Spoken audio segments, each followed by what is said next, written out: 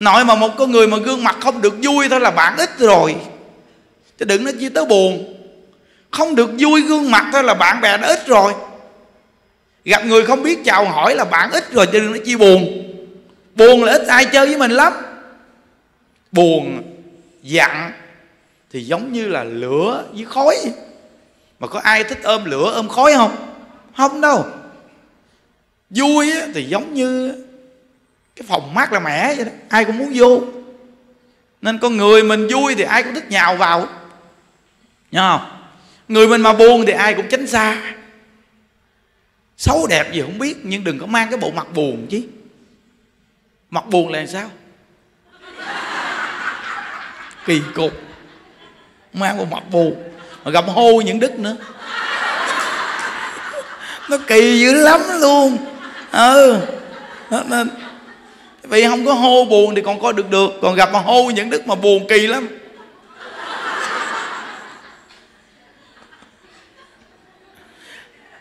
Cái nhân cái quả nó gần kế bên. Giống như cái ông này, ông bị bệnh niễn. Niễn gì nè? Cái thằng em trong nhà nó cứ chọc ổng hoài. Nhìn ông thì tôi mắc cười quá à gì đâu mà đi là niễn niễn kỳ cục ghê. Thì biết rằng là hai ba năm sau tự nhiên nó ngủ đêm sáng thức dậy. Nó bị gì nữa quý vị? Gì luôn vậy? Tự nhiên ấy là không được. Nó cừ người ta niệm cuối cùng nó đưa lên mặt lên trời luôn vậy đó.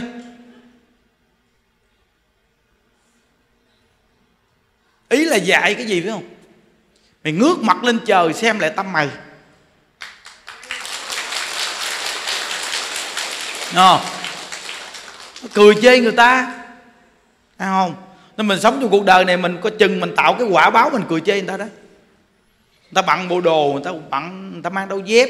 Hay người ta tướng tá gì, người ta trang điểm sao, cười chê người ta mà không không dạy người ta là có tội. Thà mình nhắc nhở người ta để lợi ích người ta thì có phước. Mà mình cười chê người ta, mình mình cười mỉm, mình cười chê người ta. Hoặc là ai cái gì đó mình đi ngang mình làm nè. Đó đó, cái tội này, cái tội phụ nữ nhiều lắm. Cái tội phụ nữ là cái tội mà không vừa bụng ai một cái là gì nè? Mà gặp hô những đức cái nữa. Tội là tội thấy ghê. Mấy bà phải không? Mấy bà ưa là cứ gì nè? À. Cái gì mà không vừa lòng, không vừa ý cái là, ơ trời ơi trời ơi thôi đừng có đụng tới người ta không? À, ghê lắm. Nó cái lương tâm bên trong ghê lắm chứ không phải là bên ngoài vậy chứ cái tâm còn kinh ở trong á. Ừ, bắt đầu ngồi chỉ trỏ người ta nói này nói kia người ta. Đó là cái không phải là góp ý mà đó là một cái tâm gọi là ác ý. Nó không phải góp ý mà đi ác ý. Đó. có một cái cô bé có vô chùa lời xưa ngoài đời cũng ăn chơi. Giờ có vô chùa có tu luôn, ở dưới hộ pháp. Cái đầu bị gì mà cái thẹo dài thọn. Tay thì xăm tùm lum. Vô gặp những đức hỏi, thầy, thì nhìn con thầy dám nhận con không? Những đức nói, quỷ, tôi cũng dám nhận thôi cô.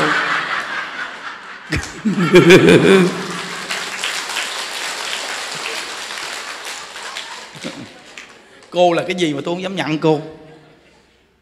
Lấy lấy cái dao cắt thịt cái có chảy máu không? Tôi mà cắt thịt cô mà chảy máu trắng tôi cũng nhận, đừng nói chứ, máu đỏ, hay chứ. Không có gì mà không dám nhận hết chứ. Lãng tử quay đầu quý hơn vàng.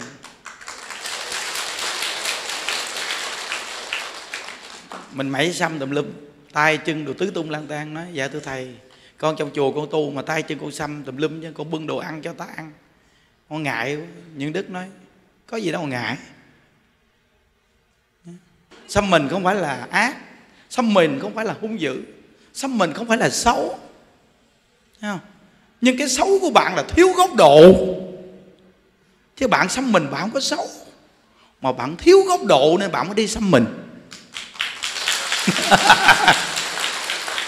Nhà đức nói với cô đó chứ, nhà đức không nói ai nha nói chuyện với cô đó giờ kể lại nguyên văn cái bị nghe chơi vậy đó. Để cho những người chuẩn bị đi xăm mình tính lại. À, tính lại. Xong giờ đức có hỏi cô đó tôi hỏi cô là động cơ nào thúc đẩy cô đi xăm mình? Sao thầy nói sao ghê quá động cơ đồ ghê quá.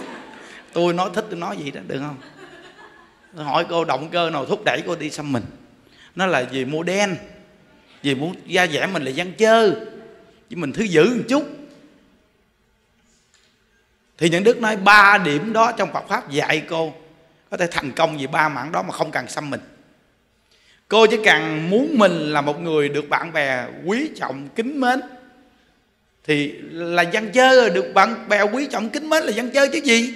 Ai đi đâu người ta cũng kính mình chân là dân chơi chứ gì? Thì cái đầu tiên là phải chơi làm sao?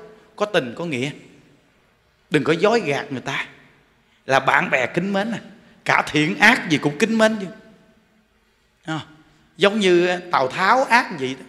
Mà tào tháo lại phái quan trường. Vì ông trung nghĩa.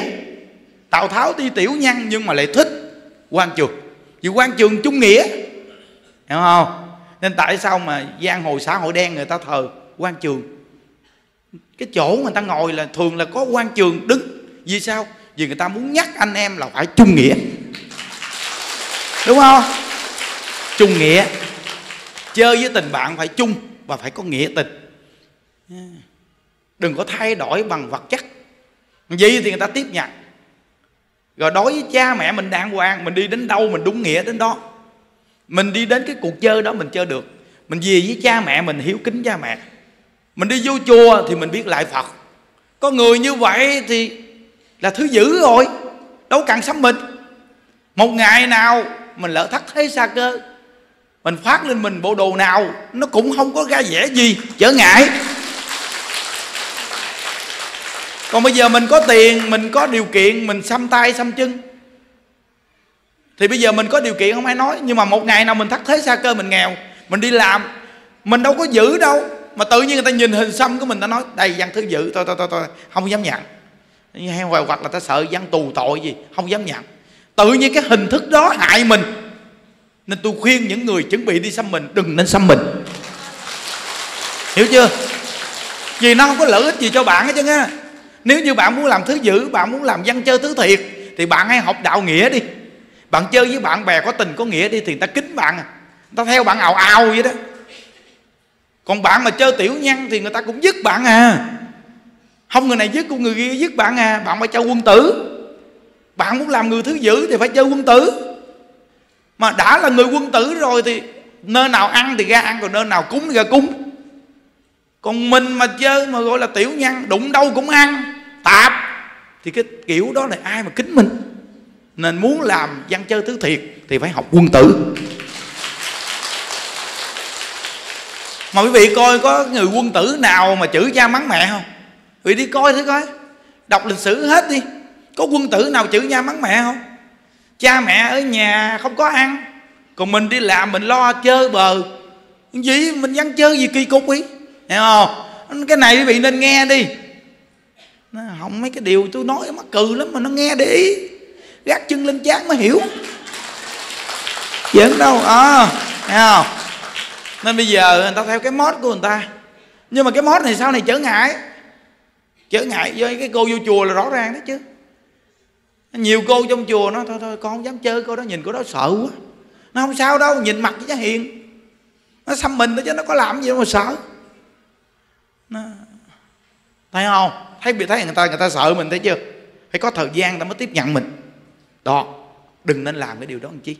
Cái giữ bản thân mình da thịt cho trắng trẻo đàng hoàng đi. Nhìn mình thấy thương nên từ nơi đó quý vị thấy cái giáo dục của trong Phật pháp hay không? Góc độ sâu hơn chứ. Nên quý vị mà được nghe Phật pháp với góc độ nó sâu hơn. Nếu như bây giờ mà những đức mà, bây giờ lúc này mà mà nói thì ông thầy giảng pháp mà đưa tay lên, hình con vịt. Tao. Được chưa? Ai xăm con gì xăm xăm con vịt được không? Đi đâu cũng cạp cạp cạp cạp. Lúc nào mà thiếu lúa, thiếu gạo là cạp cạp cạp cạp cạp. Xong con vịt là có ý đó đó. Hiểu không? Bên đây con vịt bên đây con con thỏ. Ý tôi muốn nói cho các bạn biết, tôi mà nhìn mặt mày chứ nhát lắm. Hiểu không? Nên từ nữa đó. Vì quý vị coi đưa tay, đưa chân lên, mình xăm tùm lum lá hiểu không? Ta vừa gặp phản cảm nhờ người xưa ăn chơi ăn chơi nhưng không xăm. Biết sao? Sợ kim. Sợ kim đâm vô tay từ nhỏ tới lớn không có chích thuốc. Vì biết sao? Tôi kỳ lắm. Tôi rất sợ cái kim. Những đức ngộ ghê. Nhìn thì nhìn dữ dằn vậy mà sợ những cái thứ nhỏ nhất không?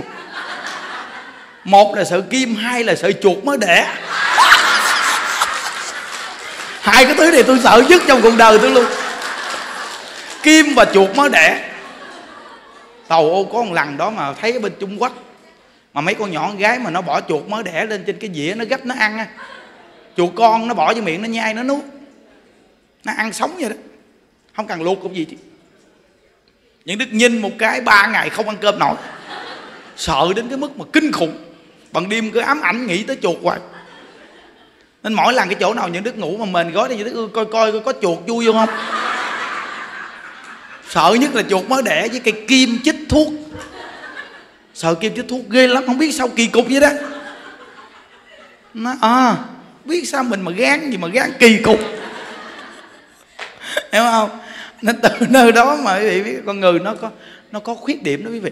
Nó vẫn có mọi, mọi chúng ta đều có đó. Nó nên những đức nói với vị nghe rằng là có những con người người ta tạo nghiệp ghê lắm. Như bữa đó coi một cái ờ, cái công đoạn nó quay lại. Mà ở campuchia, cái thằng này nó ăn. Mà nguyên một cái nhau con bò sống. Mà trong đó có một con bò con nằm trong luôn. Nó để sống nguyên vậy đó. Rồi nó nặng chanh muối lên, nó cắt nó ăn. Con người ta với gì? Đúng là ghê hay vậy. À, tạo nghiệp ghê quá không ăn uống gì đâu nó lấy cái miệng nó cắn cái miệng con bò con. Ăn ăn sống vậy đó. À, lạ kỳ không? Mình bởi vì quý vị thấy mình nghe Phật pháp mình biết ăn chay cỡ nào cũng có được sạch sẽ. Ăn ngon lành rau xanh được không? Nên những đức nhìn mấy quý vị ai cũng xanh tươi.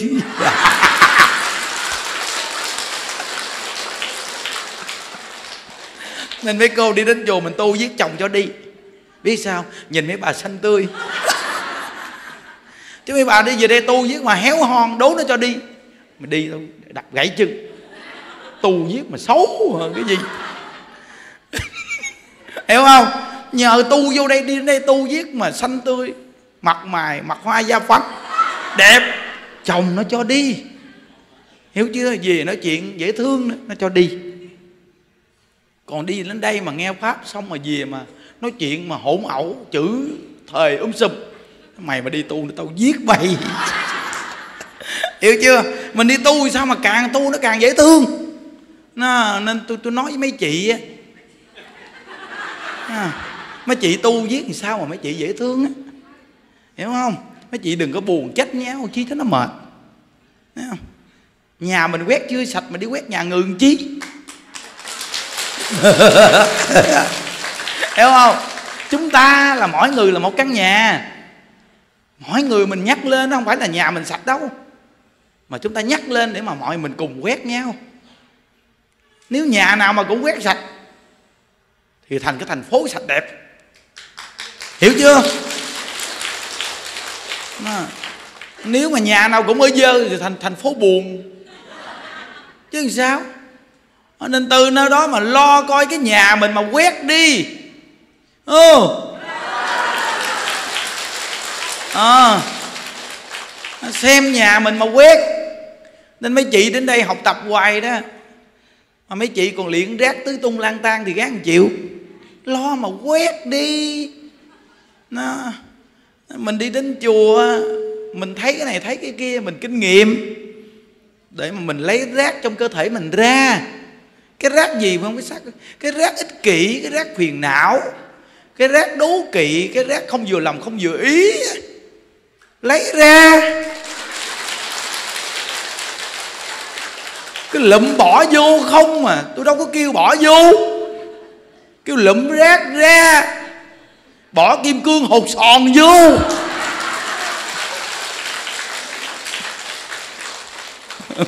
Hiểu không? Nó nói phải hay ho gì xin thưa quý vị nếu đức từ khi đi tu tới giờ, lụm rác nhiều trong người mình ra lắm. Nên càng ngày tu càng kết quả. Càng ngày càng vui, vì thấy lúc nào người ta cũng vui không? Người ta vui, người ta làm được bao nhiêu chuyện? Lây quay tới lễ với quan âm nữa, bữa nay 28 rồi. Khoảng 18 ngày nữa tới rồi đó nghe. 17 là tổ chức rồi, phải quyết tâm phải dọn hết nhà cửa, cho gọn ghẽ đi. Sáng 17 là có mặt. Bốn ngày quanh tráng, quanh quanh liệt liệt.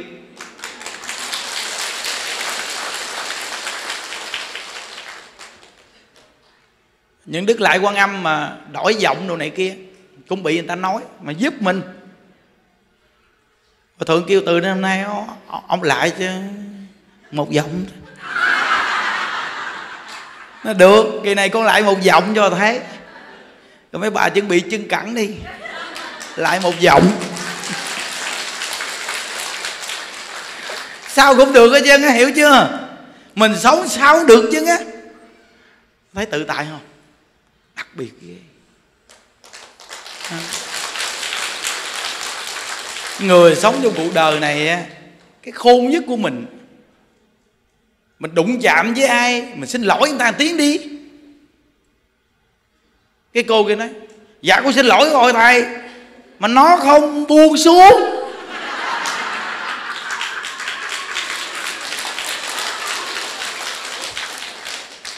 Nhưng đức nói,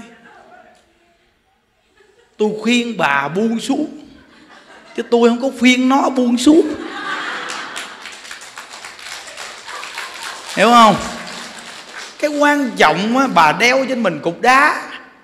Thì tôi gặp bà tôi kêu bà buông cục đá xuống đi thì bà nhẹ. Còn nó lụm đá lên thì nó gán chịu. Con người có quyền quyết định mà. Ai cũng có quyền quyết định chứ. Hiểu không?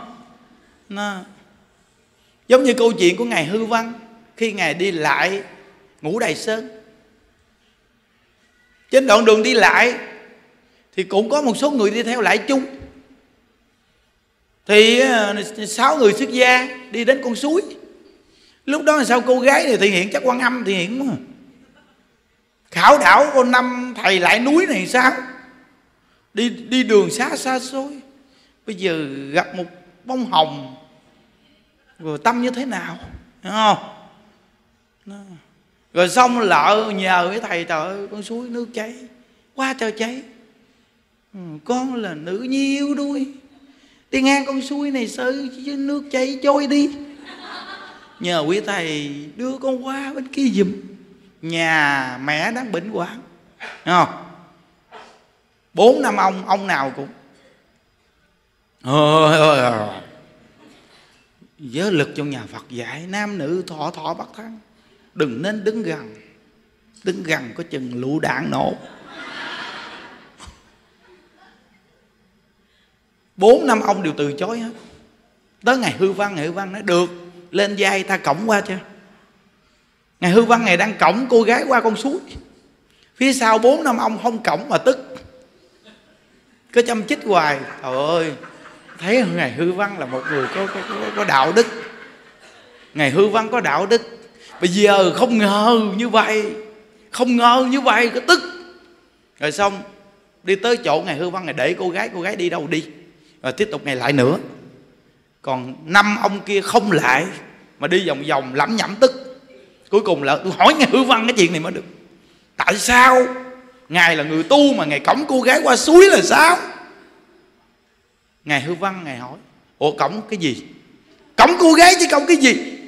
Ủa tôi cõng cô gái qua suối xong tôi để cô gái xuống cho cô gái đi về. Tại sao thầy cõng lên chi vậy?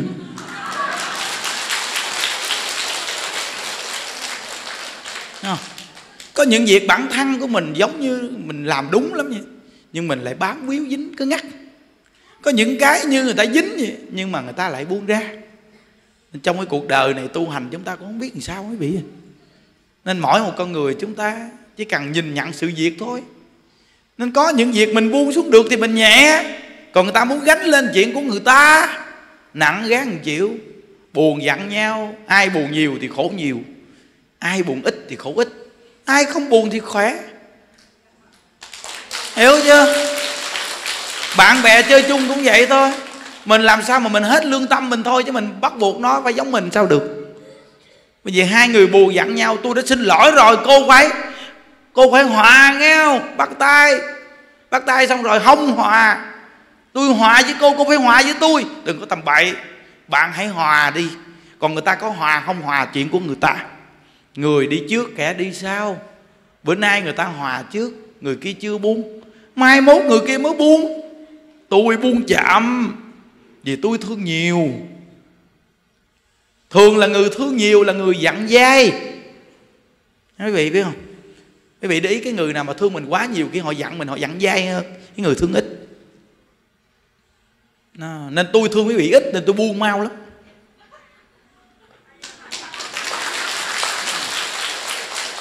Thấy chưa? Thương chung chung thôi. Thương chi mà thương quá đáng. Thương quá đáng là nó có cái khổ của cái tình thương thương vừa vừa mà nó tồn tại. Cái tình thương á, cái gì cũng vậy nó đừng có dồn cái ban đầu dữ quá. Nó dồn cái ban đầu dữ quá về sau không còn tình thương đâu để thương. Thà mình thương rô đai. Mà nó lai rai vẫn có tình thương. Hiểu không? Còn hơn mình thương dồn dập. Mình thương dồn dập mà cuối cùng tình thương đâu mà thương. Nên có câu cứ nói dạ thưa thầy. Con thấy tình đợi bạc bẽo lắm thầy á? Con với ảnh quen với nhau 10 năm chờ. Bao nhiêu là mặn nồng bao nhiêu là hứa hẹn. Vậy mà anh cứ con sống hai năm chia tay.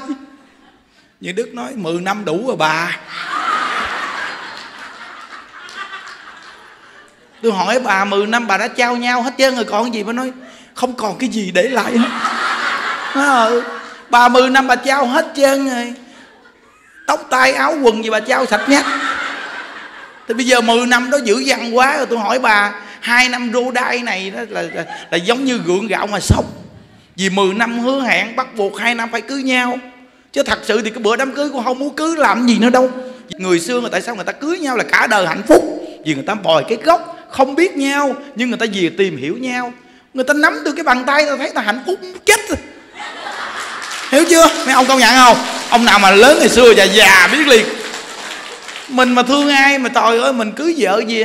Mình nắm tay vợ mình cái là tội gì đi làm không thấy mệt. Đúng không? Gì mà vợ mà cho hôn một cái thôi tàu có bao nhiêu sự mệt nhọc và tan biến tại vì sao mình có được như vậy đâu nên mới thấy nó, nó, nó cần thiết. Mấy ông nghe nó nó thầy là dạng ghê dạng quá đúng tình đúng lý ghê quá nên tôi nói với mấy cô trẻ trẻ bây giờ mình khờ quá. Vừa quen nhau là tự nhiên mình sưởi ấm cho nhau sớm quá. Thì đó nên nó không có được cái hậu gì sao đẹp. Còn ngày xưa người ta chỉ lo cho cha mẹ người ta. Người ta hiếu kính cha mẹ người ta. Người ta đi đâu người ta đàng hoàng. Người ta không có tào lao bắt xế ghé đông ghé tây quẹo đường hẹp, từ nơi đó mà khi người ta có duyên có đôi có nợ ta gặp nhau là người ta bồi gốc liền. Nên cả đời người ta mới hạnh phúc. Còn bây giờ bà vớt 10 năm chờ, nó chia chăn, bẻ gối sạch nhất hết. Rồi cuối cùng rồi hai năm cưới nhau, chia tay luôn. Còn gì nữa? Mình nói tình chỉ đẹp khi tình gian dở. Đời hết vui khi đã lỡ cấu thể.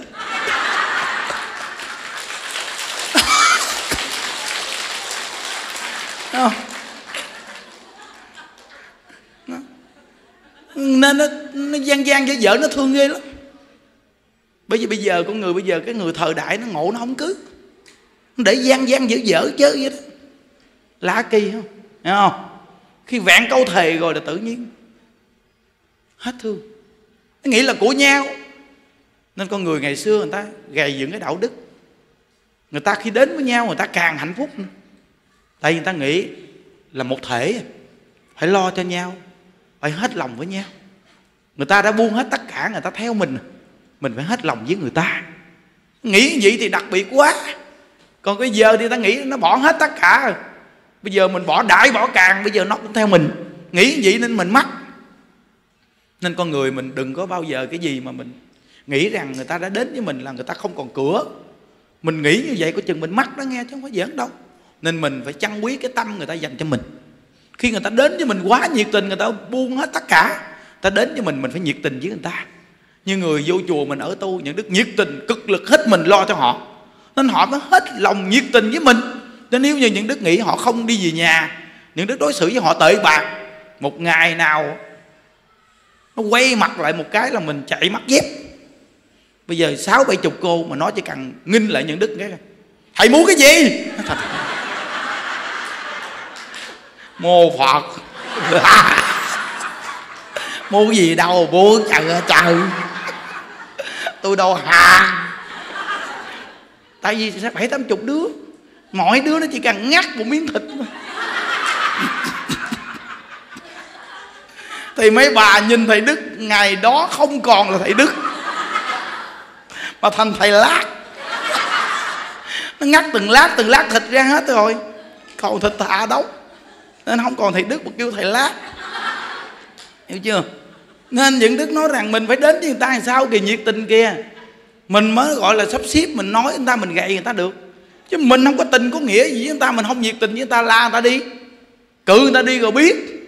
Đừng nói chuyện dẫn chơi mình ở nhà mà chồng mình làm chồng người ta mà mình la, vợ nó vợ nó còn cự lại kìa. Nó có cự mà. Là nó quá đáng, nó cự lại đó, đừng nói chuyện dẫn chơi với nó. Cái gì nó cũng vừa phải thôi nên ờ, mình phải hiểu cái thời cuộc. Nên mỗi một con người mình nghe đạo gì, nó quan trọng lắm. Coi cô kia cũng muốn đi tu, mà cô cũng có cái học học bị bây giờ con thì muốn đi tu. Nhưng mà nghĩ lại, mười mấy năm chờ đi học, nhiều tiền bạc quá. Bây giờ chưa làm ra tiền bạc gì hết mà đi tu thế uổng. đi tu mà còn nghĩ lạ kỳ, ngộ ghê. Vậy thì thấy tử tắc đạt đa, cung vàng điện ngọc vợ đẹp con sinh tương lai làm vua mà tại sao người ta buông hết trơn? Cái người đã giác ngộ rồi thì mới nhìn được cõi đời vô thường. Còn cái người chưa giác ngộ á, thì tự nhiên mình nhìn cái cõi đời này mình còn lương ương. Lương ương á nên khi mình đã có cái tâm tu hành là mình phải nhìn nhận cho sâu sắc. Nó quyết định đi tu là phải rèn mình. Người ta làm được là mình làm được. Đúng không? Mấy cô tu được thì mình tu được. Mấy cô tu được thì mình tu được. Có gì đâu khó. Có nhiều người ta nói tu khó lắm những đức thấy không có gì đâu khó. Gì đâu khó tôi ngày xưa ngoài đời thanh niên cũng ăn chơi trên thành phố, tôi đi vô trong chùa tôi tu, tôi làm một một phát một. Tới bây giờ mười mấy năm trong chùa luôn. Giết bây giờ tôi bái bay quá cà phê luôn. Ghê không? Phê quán nhậu bỏ sạch luôn. Thuốc men gì cà phê gì cũng không uống luôn. Nước ngọt không uống luôn nữa, đừng uống cà phê. Mười mấy năm nay lên hai mấy ký, ốm đâu. Tu càng tu càng coi được chứ có xấu đâu sợ. Đúng không? Mà còn giảng pháp mấy bạn nghe ngon lành mà. Nên phật tử mà nói mà, mà mấy, mấy cô cúng dường mấy cô cho những đứa cơm ăn áo bặn mấy cô nói xứng đáng. Đúng không? Gầy dựng bao nhiêu năm nay có được? Ông thầy cũng giảng pháp cho mình nghe. Cởi mở bao nhiêu tâm tư cho mình? Nuôi đúng nơi đúng chỗ. Thấy không? Đó. Có ngôi chùa. Họ thấy chùa mình nuôi nhiều người già. Khi người ta cúng dường cho họ, ăn đủ còn nhiêu đem lại chùa mình hết trơn. Mà toàn là đồ ngon không? Cái người trong chùa nói một câu gì nè? Dạ thưa thầy, chùa con ngày xưa cúng có nhiều.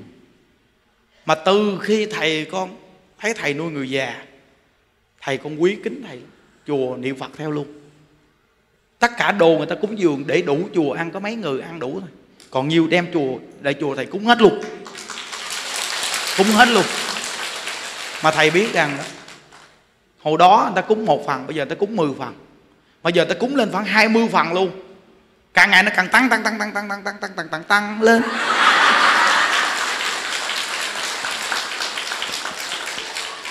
thấy chưa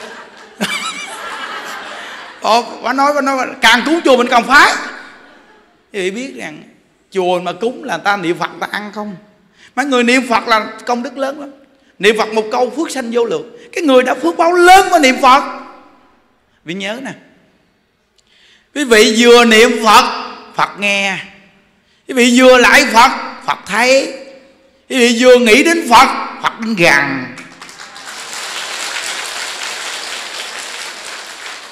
vậy bị hỏi lại con niệm phật giỡn. Phật có, có nghe không? Sao nghe? Ví dụ như bây giờ quý vị gặp những đức quý vị kêu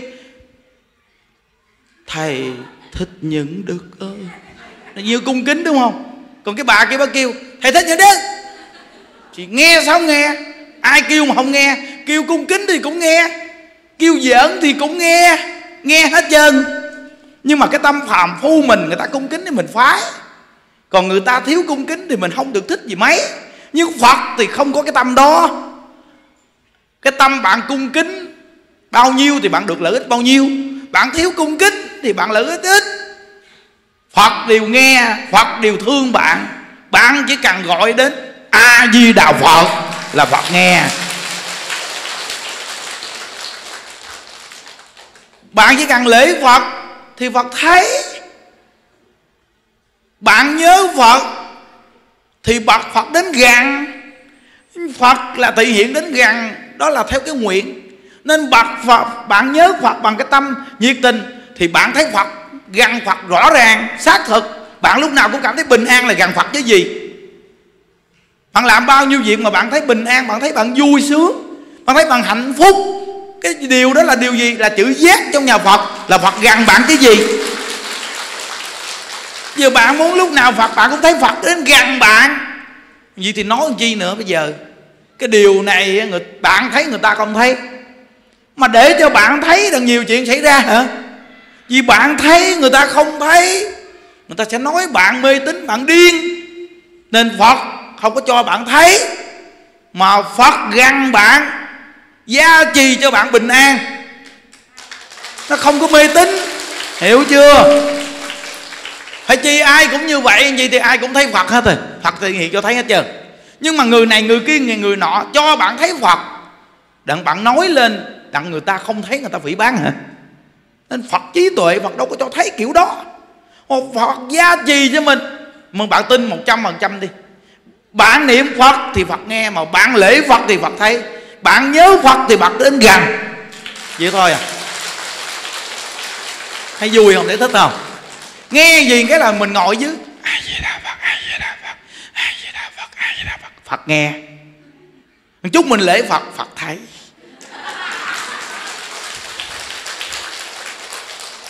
Nên mấy đứa con nít này mà ngồi mà niệm phật gì là phật nghe phật khen các con. Phật khen con nít mà biết niệm phật. Hiểu chưa? Nên các con càng ngày càng lớn lên đẹp có duyên hiền dễ thương có phước. Hiểu không? Thì các con niệm phật con nít mà niệm phật là phật càng thương. Mình mà gặp con nít niệm phật mình còn thương nè. Không chi là phật. À, người ta người lớn là gặp nít niệm phật là ta thương. Gặp con nít mà ngồi nghe pháp đàng hoàng gì là ta thương ta quý ta khen đứa đó nhiều thiện căn. Nhưng mà không phải nó khen vậy mà thành kiêu ngạo. Ta đây không phải mà khen mình mình phải xem lại mình nữa kìa coi coi mình ngồi có nghiêm túc chưa? Đàng hoàng chưa là mình tốt hơn nữa. Hiểu không? Đó. Chứ không phải khen gì để kiêu ngạo đâu. Ta đây rồi, khoe với các bạn rồi. Thầy khen tao á, mày đụng tới tao đi là mày biết. Mày là đụng với tao đi rồi tao mét thầy thầy xử mày luôn á cho mày biết. Con thua luôn, con hiểu không? Ví dụ như mình lớn nhỏ mình đi về chùa, thầy ông quý, ông thương mình. Không phải là để mình hâm dọ người khác mà quý thương mình là mình xem lại mình xem lại mình coi, có xứng đáng được như vậy hay không? Mình phải cố gắng hơn nữa mới đúng. Người vậy thì cái đức hạnh của mình nó càng ngày càng lớn lên. Chứ không phải ỷ lại đâu, không phải được người ta thương yêu mà ỷ rồi ỷ mai mốt nó hết thương. Quay lại nó ghét mình luôn. Nó, nên à, pháp môn tịnh độ là pháp môn đại thù thắng. Cách nay hai ngày bà cô lại lợi có nói một câu, nghe kinh khủng con bé 15 tuổi bé gái. Nó biết niệm phật. Mà chắc bé này nghiệp chướng nặng nề nhiều đời, nhiều kiếp sao? Nghiệp nặng báo nhà? Nó chạy chiếc xe đạp đi học. Chiếc xe 15 tấn. Chạy một cái du ngang cán chiếc xe đạp. Con nhỏ bé dính vô bánh xe. Quay mấy quận trong bánh xe. Bà nói rõ ràng. Tự nhiên ta nói rồi chờ ơi chờ con nhỏ này chắc không còn miếng thịt luôn còn cái gì nữa? Xe 15 tấn mà cán lên nó quay vòng vòng như bánh xe. Nó còn cái gì nữa? Vậy mà xe thắng cái két lên cái nó ló đầu ra. Ghê chậu thật nghe mà hết hồn luôn. Nó ló đầu ra, nó mô vọt. Kinh khủng không? Tài xế lại nó dạ chú ơi, đau quá chú ơi. Quất cái đùi của nó, quất một miếng thịt đùi bự và bá văng ra bởi vì tin kinh khủng mà không gãy xương. Thôi, cái này mà kinh. Nó gãy xương tiêu rồi mà nó dứt một miếng thịt đùi, quất miếng thịt đùi, tuột ra luôn. Nó nói, ai với đạo phật đau quá chú? Ai với đạo phật đau quá? Nói vậy đó. Xong đem ra, tưởng nó là tiêu nhỏ, đùi chân là tiêu, còn sống nhưng mà chắc là cái đùi banh chành rồi. Quất một thịt đùi, còn xương không gãy bà mới nói rõ ràng luôn.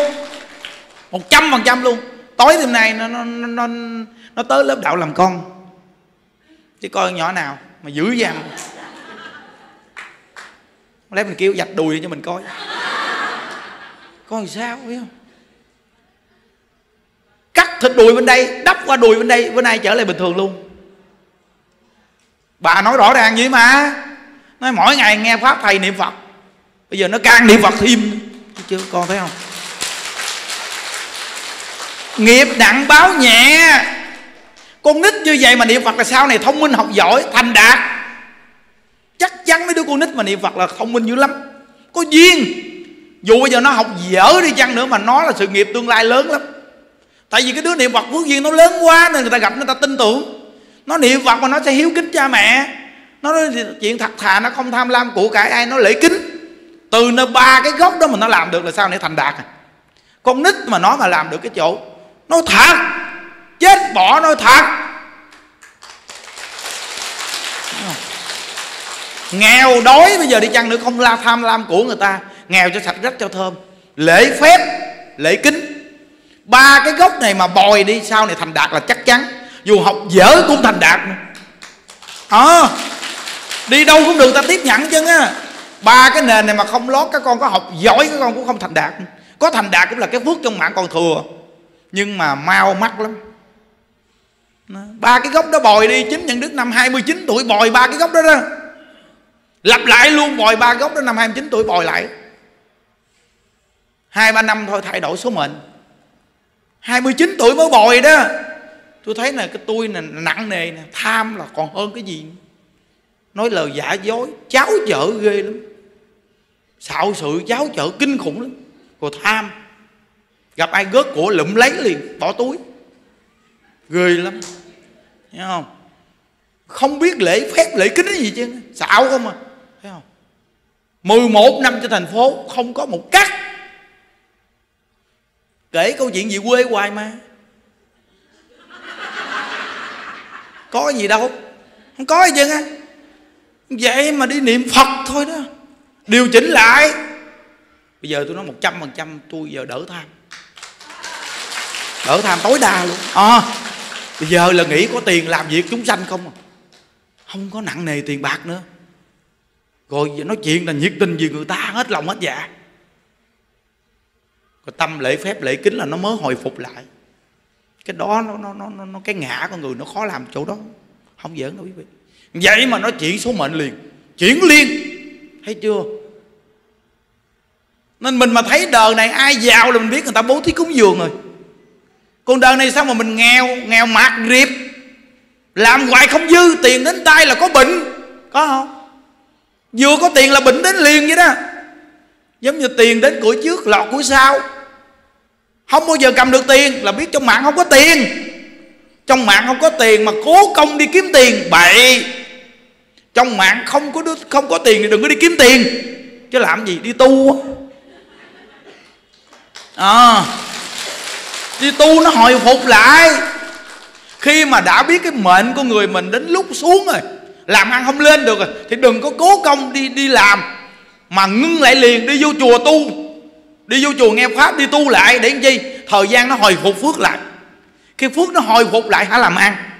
Khi phước nó hồi phục lại là tự nhiên có người rủ làm ăn à? Là tự nhiên lúc đó làm là thành công. Vì phước nó hồi phục. Con người mình mà khi mà tăng, phước bị biết quý vị biết liền à. Con người bị phơ phớ à. Khi phước tăng là phơ phớ phơ phớ à. Giống như đèn mà đủ dầu, đèn mà đủ điện nó sáng à. Hiểu không? Là phước đủ. Còn khi con người hết phước vị sẽ biết liền. Chính bản thân vị cũng biết nữa. Khi mình hết phước là mình kỳ lắm. Nó cứ là kỳ lắm. Ai... khổ quá. Sắp tới tết mà không có tiền mua đồ. Khổ quá, chắc khổ. Mấy đứa con chuẩn bị đóng tiền học mà không có tiền. Ơi ủa trời khổ. Đó đó đó đó đó đó đó đó đó. Thì hết phước rồi đó. Người mà hết phước là vậy đó. Còn cái người giàu, cực kỳ giàu, vẫn có tâm đó luôn. Quý vị nói họ giàu, họ có phước à họ có hưởng đâu mà có phước nó đâu có hưởng đâu. Họ giàu mà họ không có hưởng. Họ ghen không mà nhưng mà ai hưởng? Con phá gia chi tử hưởng. Con không? Trời ơi, không thấy hả?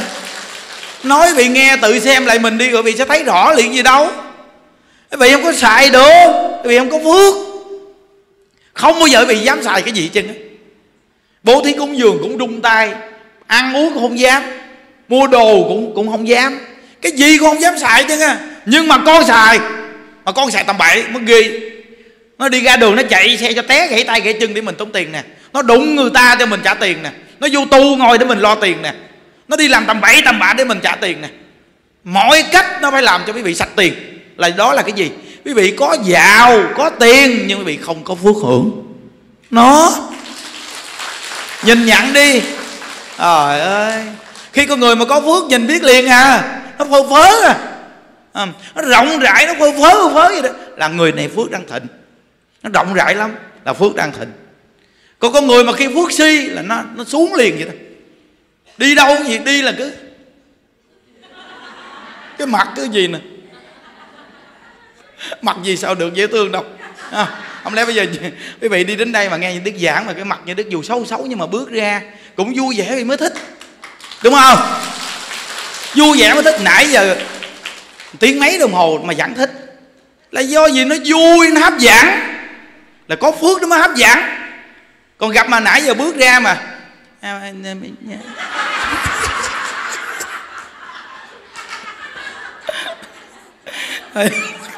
nói chuyện gì kỳ cục gần chết nói vì ờ, ờ, ờ, cố gắng niệm phật anh nha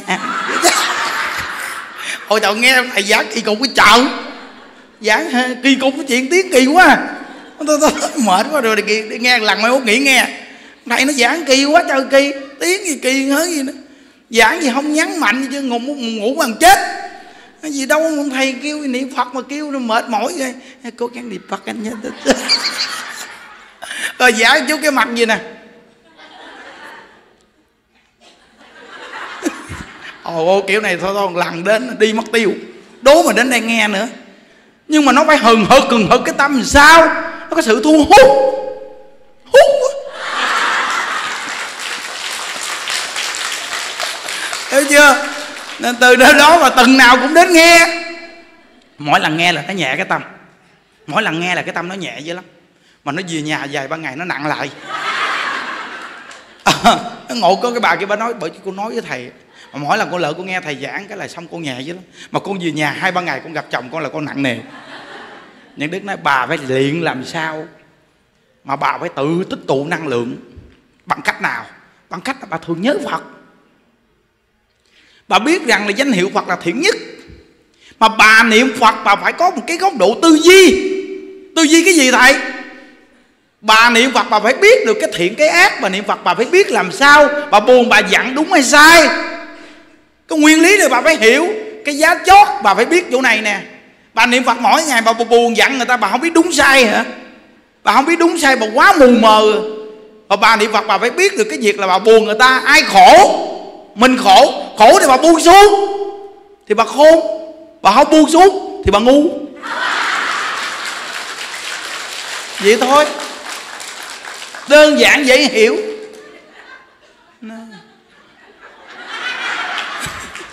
Thấy chưa? Nói câu đúng là cái văn tự dễ hiểu ghê.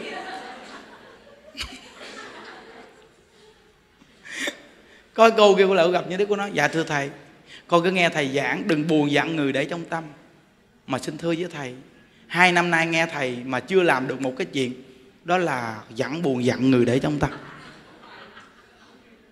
Con vẫn biết điều đó không đúng, nhưng con vẫn phải buồn dặn người ta để trong tâm con với nhỏ bạn đi tu chung, hai đứa hai đứa đi tu chung.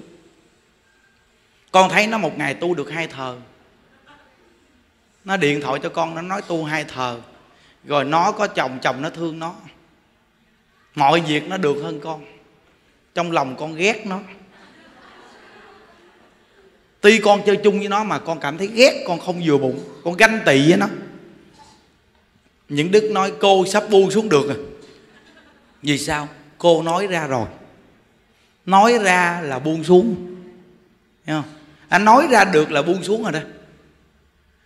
Cô cố gắng tiếp tục niệm phật đi, sắp sửa buông xuống rồi. Bữa nào phải chẳng gặp nhỏ kia nói một cái. Còn nếu như buông xuống được rồi, khỏi nói luôn. Gói gọn lại đừng có nói. Biết đâu nói ra nó sức mẻ tình cảm. Những đức đi tu mười mấy năm nay, không có cái rắc rối gì mà những đức không sợ được cũng cần thiết phải hỏi ai làm gì. Tự nhận thức rằng cần buông thì buông. Còn mình buông rồi, ai buông kệ nó? Phải re. Có gì đâu sợ, hiểu không? Nên ta càng tu ta càng vui. Càng tu càng vui. Hồi xưa tôi mới vô chùa 5 năm chờ đâu có vui gì đâu. Tôi nói thiệt luôn như người ta là bỏ cuộc mắc dép rồi. Phiền não không? Ồ, tôi vô chùa mà tôi chữ ác đạn lắm tôi quảng chúng tôi chữ tá lả âm binh, sáng nào tôi cũng chữ tum lum tum lạ. Nhưng mà cái thời tôi là cái thời thịnh. Thì tôi chữ vậy tôi chữ tá lả bên tôi la quá trời la luôn. Mà sao chúng không có đi? Ngộ ghê. Không có đi. Ngàn năm trăm người nó không có đi. Nó không chịu đi mà nó vô tim không làm như con người người ta nó phải bị chữ thì sao? Ngộ ghê. Mà chữ đúng. Mình la mấy cái chuyện ở trong chùa mà này kia tùm lum la mình la thá lạ cho mình phân tích cho, cho người ta nghe. Xong rồi mình lo cho ta cuộc sống đàng hoàng mình lo người ta dữ lắm. Mình làm ngày làm đêm chứ không phải là mình không có làm. Mình làm ngày làm đêm mình làm quá trời luôn. Rồi tối mình đi niệm phật mình đi cả đêm mình dặn chúng. Thầu ô đi bộ niệm phật mà đi nguyên một đêm cái vị nghĩ sao? Đi nguyên một đêm đi bộ vòng vòng hoài đi. Dẫn người ta tu mà. Cũng vì cái ngã. Cái ngã là mình là quản chúng mình là trưởng nhóm bây giờ mình đi không nổi mắt mặt cố gắng đi đi muốn ăn chết luôn cũng đi nữa. Người ta lâu lâu người ta ngồi, cho người ta ngồi, nhưng mà riêng mình trưởng quan á. Đi con, từ 6 giờ sáng đi cho tới 4 giờ sáng, đi đi đi đi tới tới hai giờ mấy đi vậy nè. À gì giống như bị cùi. Đi. Kinh khủng lắm.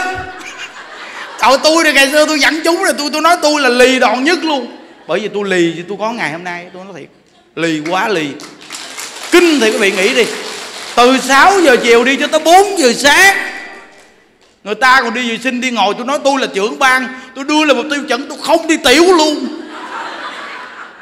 Ai cũng gặp tôi là nó, số 1 số 1 tôi nói mày đưa tao lên chút tao chết. Bây giờ tao sắp chết rồi đó. Tôi sắp chết thiệt luôn mà đâu, tại vì đưa này lên. Cái ngã lớn quá, cái ngã kinh lắm. Nghĩ mình là trưởng ban mà, đi muốn ăn chết luôn. Thầy công nhận, chú là số 1 số 1 này tao mà. Chút mày coi tao đau tụng kinh cho mày coi. Xong tiếp tục ra ngoài tụng kinh luôn. Gõ.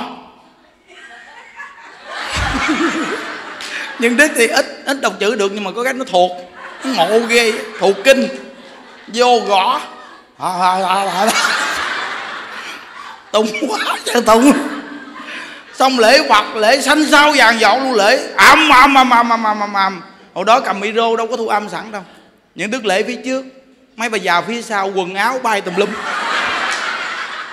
Lễ đầu mình niệm niệm kinh khủng luôn tại vì sao? Vì nó, nó nó cứ nói lương tâm mình.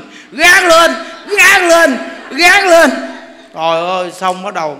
Ngồi xuống nói chuyện nửa tiếng. Ầm ầm ầm ầm ầm tứ tung. Là tá lả bình sáng nào cũng la chúng. La thấy ghê lắm giết. La giết hù. Hốt luôn. Tôi nói thiệt cho mấy người biết chứ. Năm năm chờ tôi đi tu tôi không thấy an lạc gì luôn mà tôi là cái dạng lì đòn tôi nói bây giờ mà mày trở về đời, mặt mũi nào mà về đời? Bây giờ ở trong chùa có cực gì cực đi chăng nữa thì cũng là quản chúng cũng ngon hơn. Mày về đời mày đi làm công nữa hả? Không có cửa đó đâu con. Chơi luôn. Còn bốn chín ký chơi sợ cái gì? Ốm nhơm ốm nhách, da bọc xương, tướng nhân đức mà bốn chín ký. Bị ốm cỡ nào chưa? Thấy những mô hình ngày xưa kinh khủng không? Mặt xương không da không biết đâu mất tiêu. Xương bọc da, ốm đến mức như vậy, mắt lồi to ra. Thì biết con mắt như đức nó bự sẵn, miệng thì to, mũi trâu, mà không còn thịt. Thì con mắt nó lòi ra hai bên cạnh xương này, nó hút vô. Mắt bự chà bá như lỗ mũi to ra, miệng à.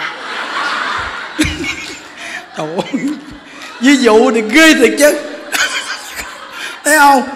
Nó không giảng cái này không không dễ đâu nghe quý vị à, nên tôi nói với tất cả những người mới đi vô chùa tu đừng có cầu sự an lạc. Giống như 10 năm yêu nhau an lạc mà hai năm chia tay. Tôi chơi 5 năm phiền não vì người ta luôn liêu mạng luôn nên tôi mới có ngày hôm nay an lạc. Chưa kinh nghiệm nghe. Đừng có nói ngon lành tự vừa tu cái là ngon liền. Bậy. Như bây giờ quý vị đi đi lại quan âm bồ tát sắp sửa hai ngàn lại những người mà mới đi lần đầu là sẽ có cảm ứng này nè, phát nguyện đi. Nghe nè. Những người mà mới đi lần đầu mà đi lại quan âm bồ tát, quỳ trước quan âm bồ tát phát nguyện, con chuyến này đi lại lần đầu bồ tát quán thế âm. Bồ tát quán thế âm gia hộ cho con, có đủ sức khỏe để con lại hai ngàn lại bồ tát quán thế âm. Ông nguyện cũ quyền thất tổ, ông bà cha mẹ đều qua gia hộ cho con. Và tất cả quán thân trái chủ gia hộ cho con tiến lợi để con lãi quan âm bồ tát để hồi hướng cho quý vị. Có cảm ứng liền. Cảm ứng. Còn những người mà đi lại thường xuyên, thì quý vị lo lại đi. À trong Phật pháp vậy đó. Đơn giản thôi. Quý thầy tại sao thấy người ta mới đến chùa mà ưu ái? Ưu ái cho họ để dẫn họ vào đạo chứ không gì chứ nghe. Tội nghiệp họ. Họ mới. Con bị lâu quá rồi chai mặt hết rồi. Lo mà tu đi, cái gì cũng vậy hết trơn rồi còn gì? U gì nữa? U nặng gì nữa, mệt quá. Lo mà tu mệt ghê. Phật tử thường thành lâu năm mà lo mà tu đi, đúng không? Vậy mà còn đi trách móc. Trời ơi. Để cho người mới mới, người ta người ta được ưu ái để dẫn dắt nó vô đạo. Hoặc bồ tát cũng làm cách đó đó thấy mới đến ờ, lệ lại quan âm tội nghiệp nó.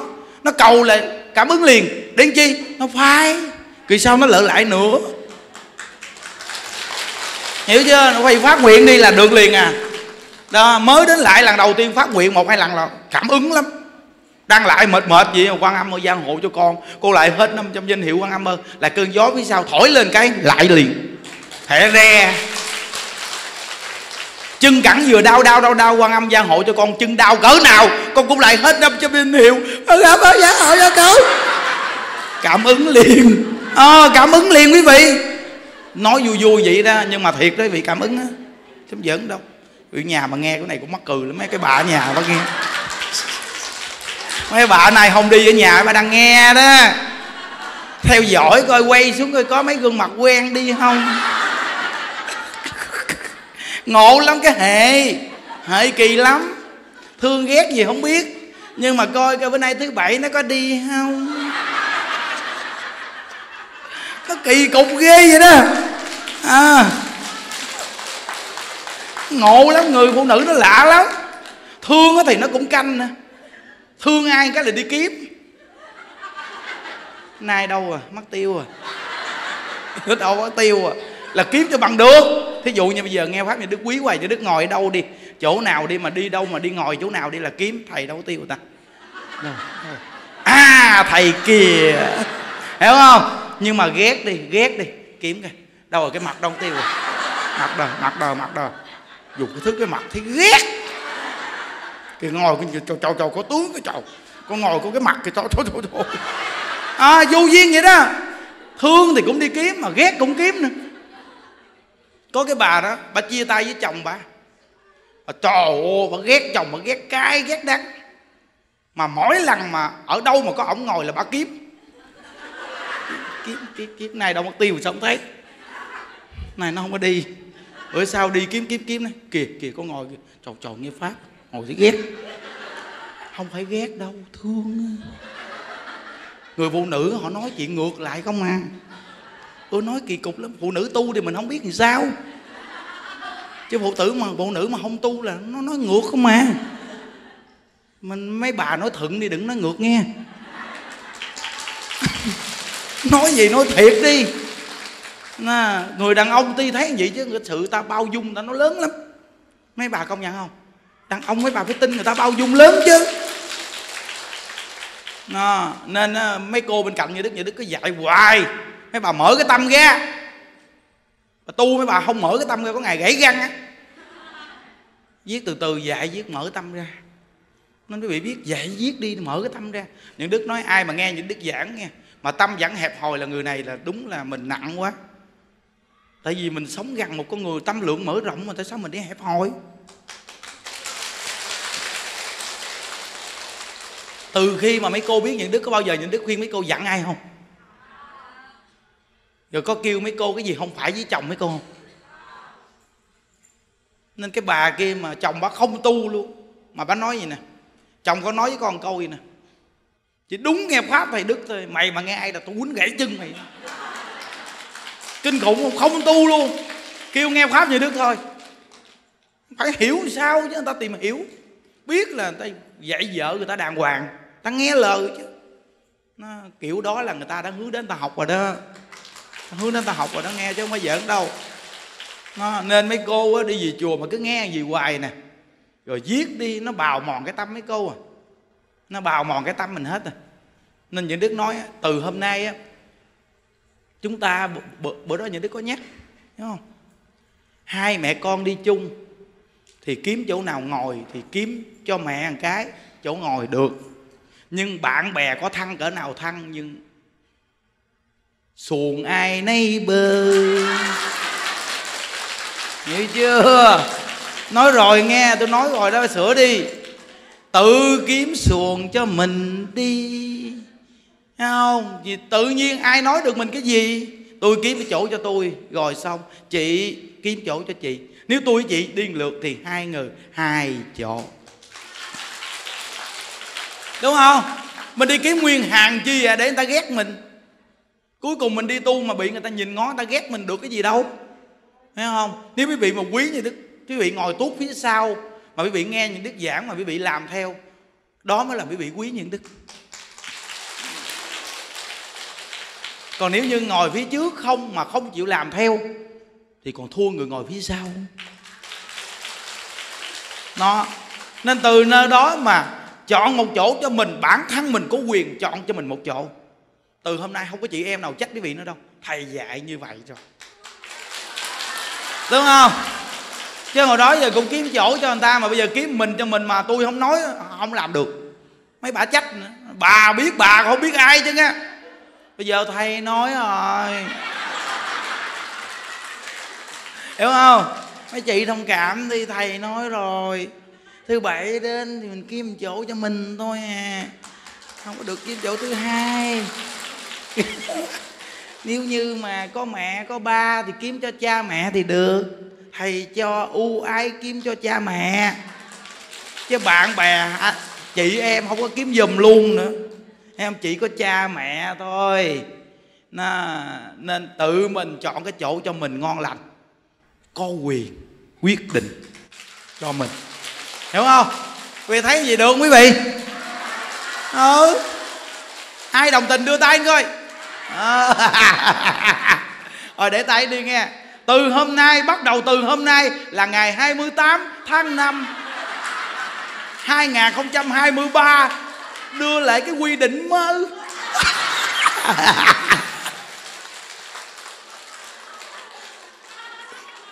Cái quy định này được hòa thượng ký tên đó.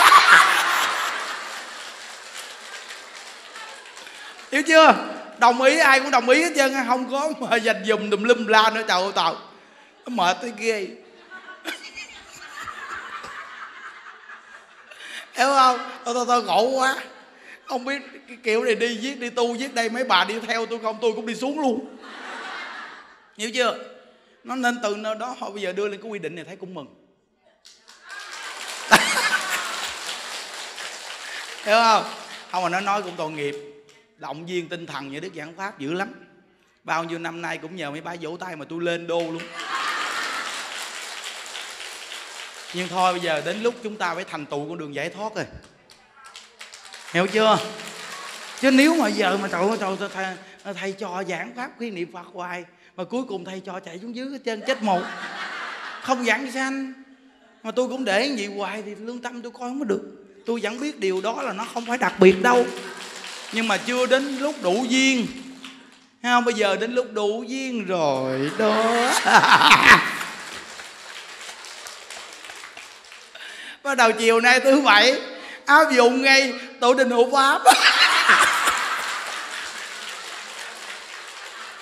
Tổ đình hộ pháp là điểm nóng đó nghe. Thấy không? Xong lớp đại là đạo làm con, xong mình lên liền, mình kiếm một chỗ ha mình để cho nước suối cho đó. Một chỗ thôi nghe chẹt rồi ai đến sau cũng có chỗ hết trơn hiểu không? À, rồi ai nhận rồi thì thôi. Chứ tuyệt đối mình không có nói trước nói sau gì đâu. Với tôi đâu có dành dùm đâu mà nói tôi tợ hiểu không? Mà bữa đó có cái bà đó bà nói một câu này biết mà. Nghe mấy chú nói lại biết mà cúng dường nhiều. Ngồi phía trước.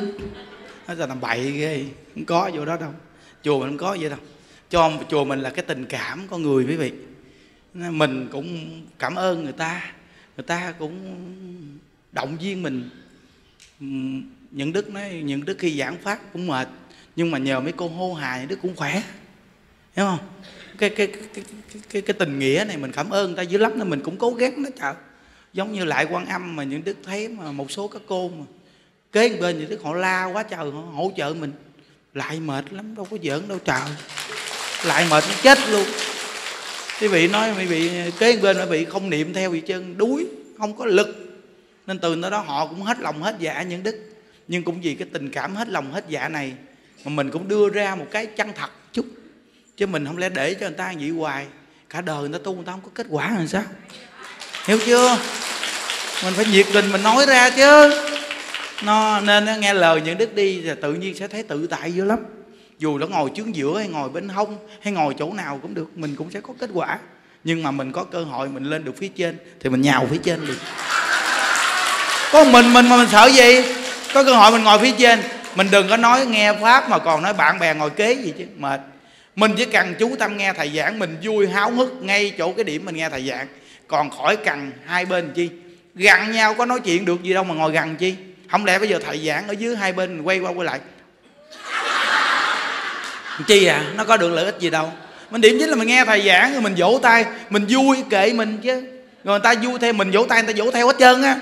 Rồi tự nhiên ai cũng là bạn đồng tu của mình chứ. Còn nếu không, mình chỉ có những người ngồi bên cạnh gần gần gần mới quen. Vì thì những người khác là đâu phải bạn đồng tu của mình. Nó thành nghiệp. Thành nghiệp đó nghe nó nên bữa nay mấy cô đi hay mấy cô không đi mà ở nhà nghe trực tiếp á mình nghe cái quy định. Đưa ra rồi đó nghe. Rồi cố gắng rồi ra rồi phone cho nhau nói thầy đưa quy định gì vậy vậy đó. À, tin nhắn đồ bấm tin nhắn đồ chút ra nhắn tin nè. Chút ra là nghe đi nãy thầy giảng đoạn cuối nghe. Ồ có nghĩa là tin tức đi nhanh lắm điệp viên không không thấy. Hiểu không? Ở đây cho đường dây bao la. Hiểu không? Nên từ nơi đó đó đó, đó những đức nói vậy đó để cho cuộc đời mình tu có sự thành tựu cuối đời để giảng sanh. Nha ai với đà phật? Nhưng đặc biệt cái chỗ mà người niệm phật chúng ta thì mình mỗi ngày mình niệm phật gọi là niệm vô lượng trí tuệ. Mà đã là mình niệm vô lượng trí tuệ, vậy thì mình sống dạy chi mà đi buồn giận người khác? Đúng không?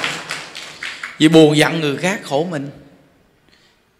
Tính nguyện niệm phật thì giảng sanh, dù bạn còn tập khí. Nhưng mà mình là người tu mình dẹp tập khí, vẫn là hay. Để người ta nhìn mình mà ta muốn tu. Ví dụ như phật rước con mình mình mà nhiều người mắc tính tâm vì mình.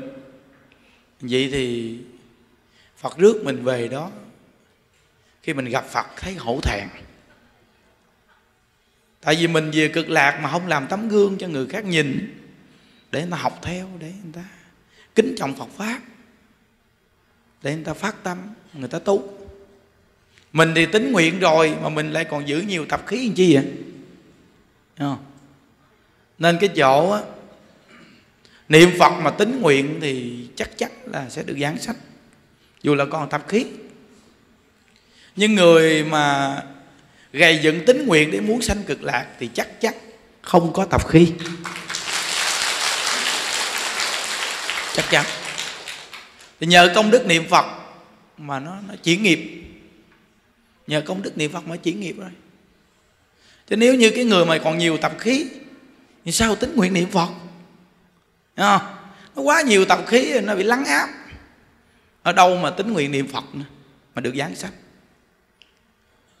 Cái người nhiều tập khí ví dụ như tham lam nặng nề chấp nhất rồi buồn giận hẹp hòi ích kỷ nhỏ mọn cái tâm này nó đầy hết trơn nó ép cái tính nguyện của mình. Con người đó sao mà tính nguyện? Nên con người mà đã là tính nguyện thì chắc chắn là những cái thứ kia nó tự biến mất. Nó ép mấy thứ kia bay mất dép hết. Hiểu không? À. nên cái cách giảng của tổ sư đặc sắc có cái là cho mình cơ hội để mình đi vào. Khi đi vào rồi tự biết. Đi vào cái chuyện niệm phật rồi tự biết à. Nên mình là người thông minh mà. Người niệm phật là chắc chắn là thông minh chứ không có khờ như hòa thượng hải hiền không ngài nói ngài không biết chữ nào chứ mà ngài đâu có dạy gì đi dặn người ta. Dặn người ta là khờ dạy vì dặn người ta là khổ mình mà. Hiểu không? Nó, nên sống trong cuộc đời này thì nó đều có sự đấu tranh. Mọi mặt nó đều có sự đấu tranh. Tu không tu cũng có đấu tranh. Mà bạn đấu tranh vì mục tiêu gì? Ví dụ như mình không biết tu. Mình đấu tranh gì một gia đình mình, vợ con mình thôi. Cả đời mình không biết đủ, mình đấu tranh vì một gia đình nhỏ. Còn nếu như mà bạn học phật rồi mà bạn có sự đấu tranh gì mọi người, vì thấy từ xưa tới nay, bao nhiêu người yêu nước người ta cũng đấu tranh. Nó đấu tranh gì độc lập tự do, cho mọi người chứ không phải cho cá nhân người ta. Đúng không? Nó cũng là một lý tưởng mà. Nên con người sống nó có cái đấu tranh. Nhưng bạn đấu tranh gì mục tiêu gì? Mới là cái quan trọng. Đúng không? À, lý tưởng mà. Nó, nên từ nơi đó mà mọi người từ nhận thức. Mình học phật nó đều có cái thời gian để bào mòn. Niệm phật là nhất định phải bào mà bào thì thế nào cũng mòn. Chắc chắn luôn tùy bạn muốn mòn mau, mòn chậm. Giống như cục đá mài dao vậy thôi. Bạn cứ mài từ từ. Thấy cục đá nó vẫn còn mà sao từ từ nó gãy ngang? Còn chút xíu, có phải không? Nhà mình mài dao thấy rõ ràng. Mài từ từ từ cục đá gãy ngang là mấy nó nên người ta nói, người làm thiện như một vườn cỏ xanh thì thấy không lên nhưng mà càng ngày càng tươi tốt người làm ác cũng như đá mài dao. Tuy không thấy mòn, nhưng càng ngày càng mòn mỏi. Đúng không? Nên á, mình đã học đạo rồi, thì mình mang cái tâm mình cho nó thoải mái. Mà buồn giận thì không có thoải mái. Thì hỏi những đức, thầy, bây giờ thầy còn cảm thấy nhìn mặt ai mà thấy bực bội tức không? Nó tức làm chi vậy? Thương vẫn là ngon hơn tức.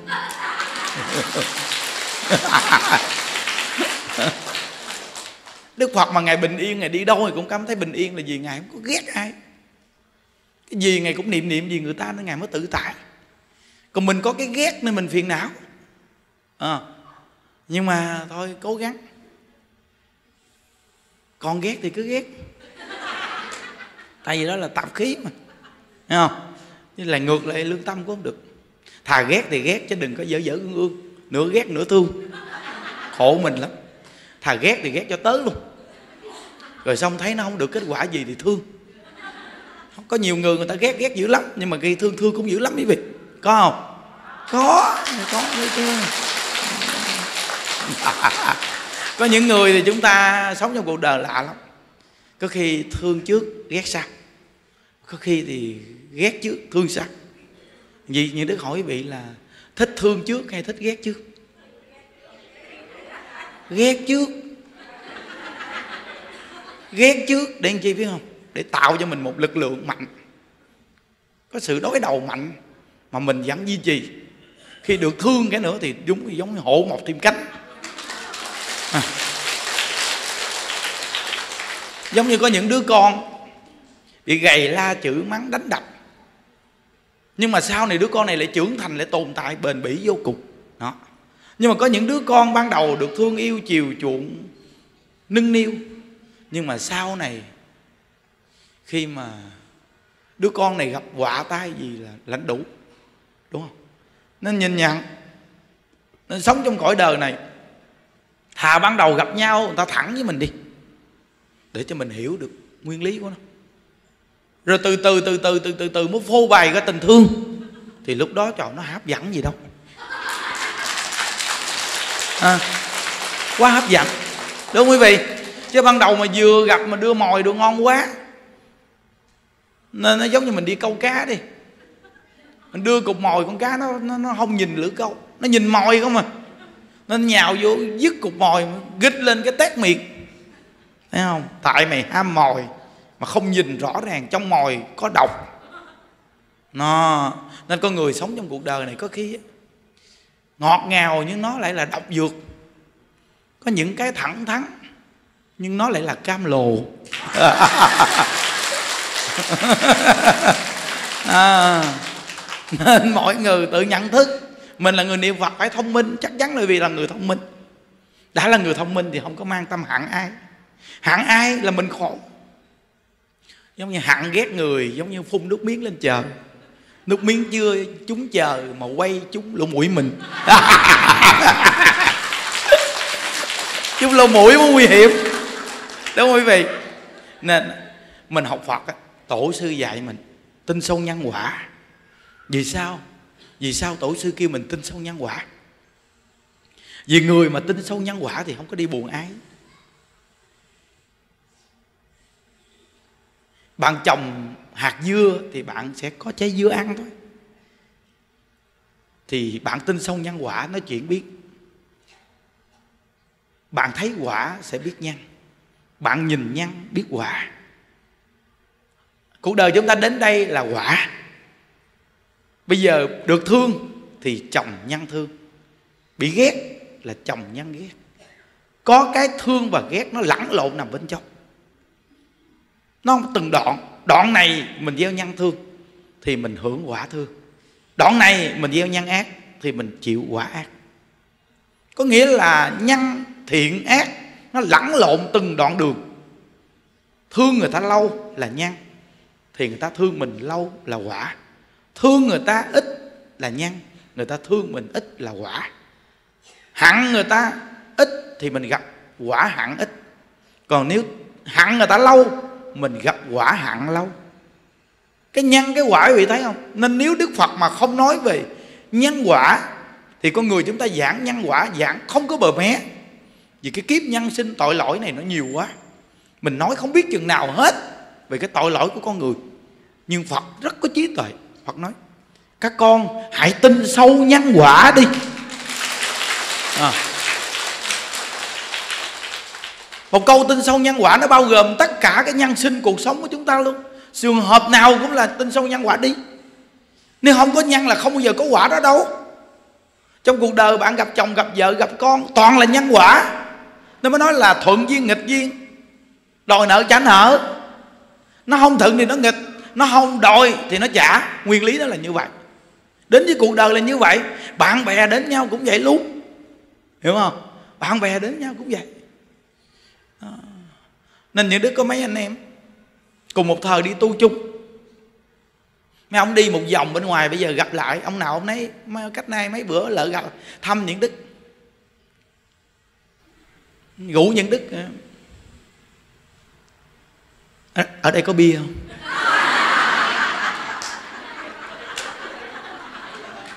Những đức nói, bia khu vực này có muốn uống hả? Muốn. Ra quán bia uống. Chứ chùa thì không có. À. nói chuyện chút hỏi, có thuốc lá không?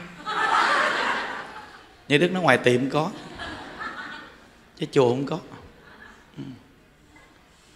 Xong như đức nói, anh em tu thời gian lâu thấy công phu cũng được ghê bữa nay mà dám ra quán ngồi uống bia luôn hả? Gàn ghê ha. Chứ tôi nhát vụ đó sao nhát kỳ cục. Hồi xưa tôi chuyên gia ra quán bia ngồi uống. Hồi xưa chưa đi tu. Nhưng bây giờ ra quán bia không dám. Sao thấy mắc cỡ quá, kỳ quá. Rồi tôi thấy mấy anh em càng tu mà càng gan thiệt. Đứng trước mọi người mà hút thuốc hay ghê chứ tôi vụ gì với vụ đó nhát. Nhưng mà tôi lại quan âm hai ngàn lại là tôi chơi á tôi chơi thiệt á. Tôi hướng dẫn người tu là tôi chơi thiệt á. Tôi tôi tổ chức người mù. Bốn năm ngàn người là tôi làm thiệt á. Nhưng mà kêu bây giờ kêu tôi cầm chai bia mà mà uống bia mà mà mà, mà chơi là tôi tôi tôi sao? Tự nhiên sao giờ tôi nhát quá trời. Vụ này không dám. Hỏi gì sao kỳ uống bia có gì đâu. Gì đâu mà, mà, mà sợ mà nhát chứ hút điếu thuốc cũng giết ai đâu sợ. Nói đi là uống bia hút thuốc nó không có giết ai chứ nhưng cái hành động đó là những cái hành động mà thế gian người ta người ta dùng. Còn mình đã vô chùa mình tu rồi mà mình dùng vậy thấy nó kỳ quá. Nó, ngày xưa thì sao cũng được nhưng bây giờ thì thấy nó kỳ. Tại bây giờ thấy nó, nó thèm khát gì cái chuyện làm thiện thèm khát gì tu nhân tích đức thích hơn. Còn mấy anh em thì thích cái môn này tùy mấy anh em. Nhưng mà lúc này ở đâu? Nói người tự tại mà không cần ở đâu. Vì như đức hỏi chắc mỗi lần ngủ vậy leo đọt cây ngủ. Tôi thấy mấy ông cũng giỏi ghê tu viết làm chim luôn.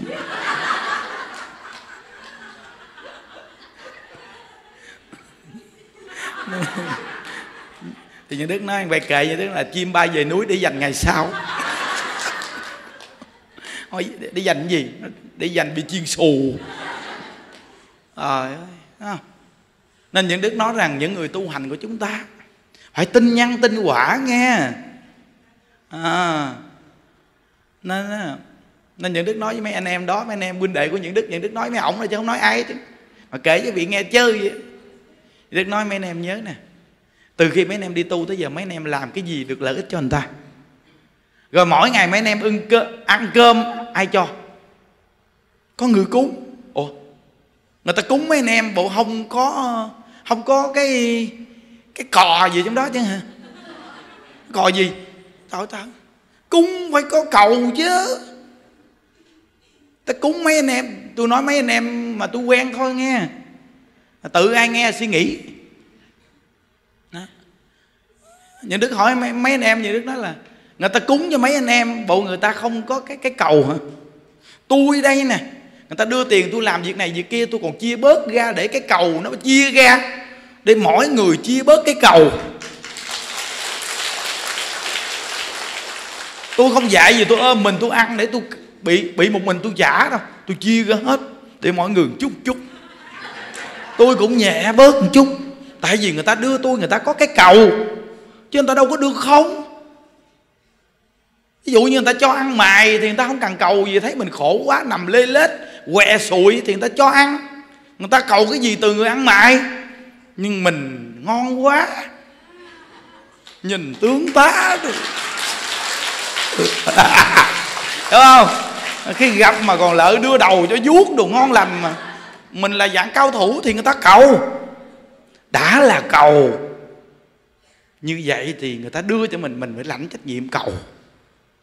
Cầu an hoặc cầu siêu cầu này, cầu kia tùm lum mà nếu cả đời mình chỉ là dùng cho cá nhân mà không làm được việc gì lợi ích vậy thì gán chịu nghe anh em. Cẩn thận anh em mua à, ờ, cẩn thận các anh em ô đời chúng ta mấy chục năm ngắn ngủi các anh em à. Các anh em hãy suy nghĩ kỹ con đường này của mình đi đi nghe các anh em. Ai gieo nhân gì thì gặt quả nấy nhưng mà chúng ta nếu gieo cái nhân của tam đồ thì khổ lắm anh em ô à, ờ, không phải đơn giản đâu nói cái tiếng tam đồ ác đạo thì đơn giản, nhưng mà nó vô rồi không đơn giản đâu. Vô rồi khổ lắm. À. nên người ta cư sĩ, người ta có thể làm ta ăn, nhưng người ta đưa cho mình làm ta cầu. Nếu mình làm mà đúng, thì cái cầu người ta sẽ có lợi ích. Tôi mỗi ngày tôi cũng tiêu cơm cháo. Bằng cách nào? Tôi giảng pháp cho vị nghe khô hơn cạn tiếng đó.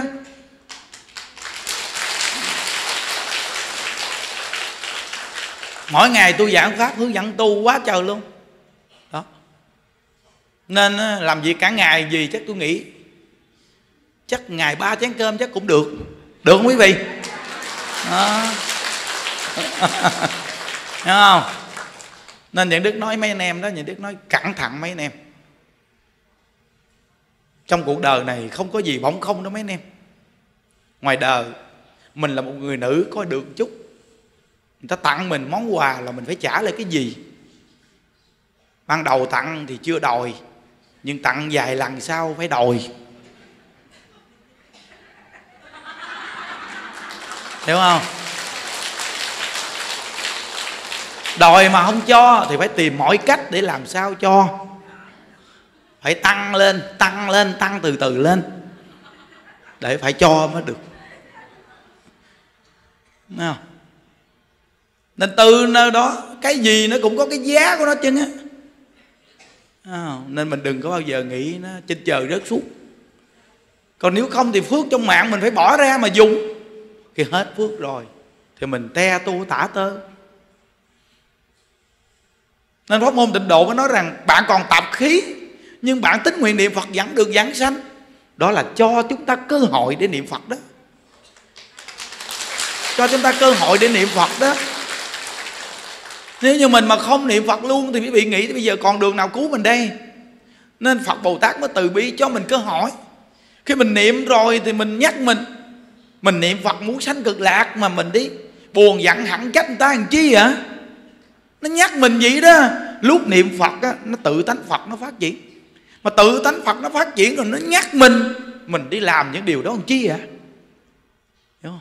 Còn nếu không niệm phật đi cái tạp khí nó áp mình luôn rồi chúng ta đâu có cơ hội để phát lên.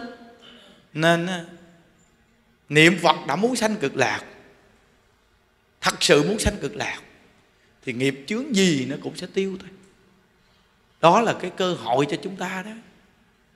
Bây giờ mình thấy mình là mình thấy mình tạo nghiệp không rồi không có phương hướng gì giải thoát được rồi vì bám pháp môn tịnh độ này cho chắc. Bám pháp môn tịnh độ này cho chắc liền. Đừng có buông ra buông pháp môn tịnh độ này, pháp nào cứu mình đây? Mình vô không nổi. Nên anh em huynh đệ đến chùa tu cũng đông. Mỗi người nên nhận thức đi nghe. Những đức nói bản thân những đức, mỗi ngày nhắc mình. Một hạt gạo nặng như núi tu di, đời này không liễu đạo, mang long đội sừng mà đền. Nhớ đó nên tôi đến đây tôi cũng cố gắng làm được cái gì đối với con người, tôi sẽ hết lòng tôi làm. Nên lo cho chúng đồ quá trời làm bao nhiêu việc.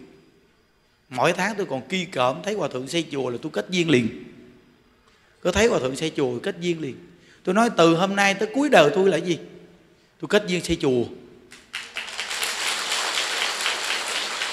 Chứ tôi không có tiền cho nữa tôi cũng khuyên người cúng dường cho xây chùa. Tại tôi mong những đời kiếp Tôi trở lại tới thế gian này nữa. Vừa độ sanh có duyên với con người Mà tôi lại có duyên xây chùa luôn. Để nó tiện cái bề độ sanh. Tiện bề độ sanh. Mà thấy ai xây chùa tạo tượng đúc chuông Cứ kết cái duyên đó đi. Tại nó không phải là Duyên ngắn đâu vì cái mảnh đất đó đang xây lên ngôi dạ lam là mảnh đất đó đã có duyên, là kinh tiếng kệ. Là nhiều đời nhiều kiếp mảnh đất đó cũng tiếp tục sẽ xây chùa nữa. Nhưng mảnh đất này mà mọc lên ngôi chùa nó đâu phải đơn giản. Mảnh đất này phải là mảnh đất chùa chiền của nhiều đời nhiều kiếp. Bây giờ nó mới mọc lên ngôi chùa này mà lại nhiều người về tu. Nên từ nơi đó mà mình phải gieo cái nhân duyên. Cái nơi mà mảnh đất mà mọc lên ngôi dạ lam. Đi ngang gặp người ta xây chùa đồng cắt bỏ vào cúng dường tam bảo. Kết cái duyên có ngôi dạ lam nơi đó. Đi đâu cũng nên có cái tâm đó đó. Kết duyên thì nó có quả. Nhân quả là duyên quả đó. Nên từ nơi đó mà bản thân mình bây giờ ngồi ở đâu, gặp ai, đều là do nhân quả.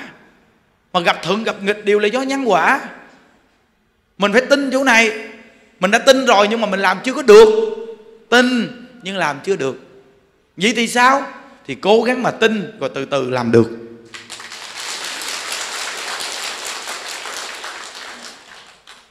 Nên mỗi người mình được nghe pháp là may mắn lắm á chứ không phải giỡn đâu. Mình nghe nhắc nhở gì cái tâm của mình nó nó nó nó, nó rửa tâm á nó rửa tâm. Những đức hồi đó quen một người này xuất gia ông có chịu niệm phật. Mà ông đến chơi nhà đức suốt à. Chơi nhà đức suốt. à như đức hỏi ông gì ông cuối đời, ông làm cái gì để ông giải thoát? Thì ông nói một câu, không làm gì chứ. Không có làm gì nhưng ông cũng bị rớt xuống à. Chứ không phải nó nổi ông lên đâu. Cuộc đời con người một là lên, hai là xuống. Nếu ông không lên thì ông xuống. Tại vì tất cả những nhân viên gì chúng ta được nhận trong cuộc đời này đều là có cái cầu đối với mình. Hiểu chưa? Nên ông phải tiến lên thôi. Này tôi cứ gặp thầy là thầy cứ nói vậy hoài. Là tôi nói vậy đó sau này thầy già chơi trước tôi thầy chết trước. Thầy cố gắng thầy nhớ lời của tôi. Thầy già hơn tôi thầy chết trước tôi. Thì thầy nhớ lời của tôi khi thầy ở đâu mà thầy gần chết á thầy cố gắng thầy niệm phật đi để được cái duyên đó mà tái sinh cho nó ngon. Chứ nếu như mà thầy, thầy ngậm miệng thì thầy không đọc được, tụng được cái gì chứ? Là thầy tiêu thầy đó, chứ không phải giỡn đâu. Tại vì ông đến chơi với mình hoài, mình gặp ông, mình nói chuyện gì đó. Mà nói những điều này, nhiều người nghe tự nhận thức đi. Tự mà được nhắc nhở. Sống trong cuộc đời này, chúng ta thiệt thòi nhất là không ai nhắc nhở mình. Đã là mình còn sai mà không được nhắc nhở, đây là thiệt thòi phải không quý vị? Mình còn sai mà mà mà mà mình không ai dám nhắc nhở mình. Mình là người thiệt thòi lắm. Nên tôi nói rằng ai nhắc nhở tôi tôi mừng. Tại vì mình muốn là gì cực lạc người ta nhắc nhở mình mình mừng. Chứ đừng có nhắc nhở đến mà buồn. Đừng có la gầy đến mà buồn. Buồn tôi cho chiếc xuồng ba lá ra biển